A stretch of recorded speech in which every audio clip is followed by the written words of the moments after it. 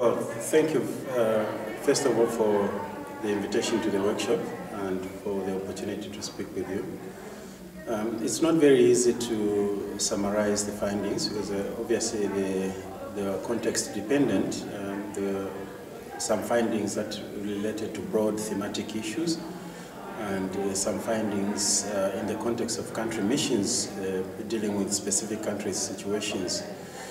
But broadly speaking, I think that uh, the findings basically confirm the long-held uh, uh, belief that uh, um, excessive uh, levels of debt um, have negative implications insofar as uh, the realization of human rights in the debtor countries are concerned.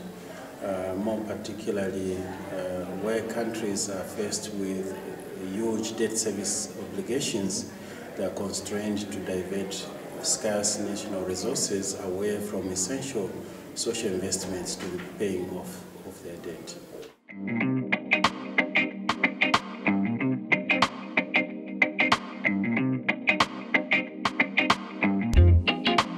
Well, I think uh, it's very difficult to, to say with regard to private actors like banks, but certainly on the part of states, there have been a number of uh, uh, states that have taken initiatives at the national level, for example, amending their constitutions or including in their constitutions provisions that clearly relate to public debt and how they contract debt, you know, issues of participation of, you know, representative bodies such as national assemblies or parliaments uh, in the process of, you know, contracting uh, debt. Um, and also issues of uh, public debt management. And of course, these need to be looked at um, uh, in, in connection with other initiatives, for example, uh, the public debt management initiatives of the international financial institutions. But certainly from the point of view of, um, of human rights, uh, there has certainly been some movement in terms of increasing transparency and accountability of governments to their citizens around issues of debt.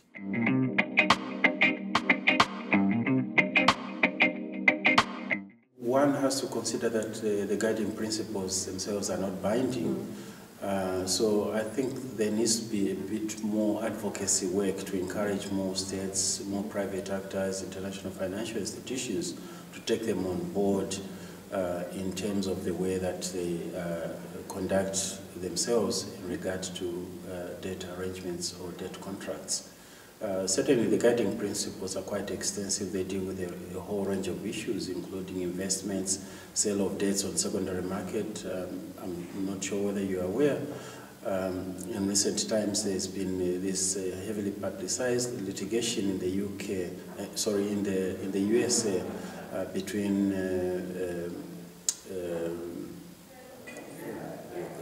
what are referred to as, you know, vulture funds.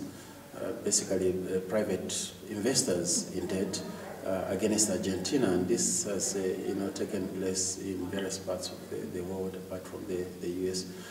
currently, there is litigation before the Belgian courts where the, one of these funds is actually challenging um, the Belgian law that had been uh, adopted by the Belgian parliament to curtail the activities of, of such funds.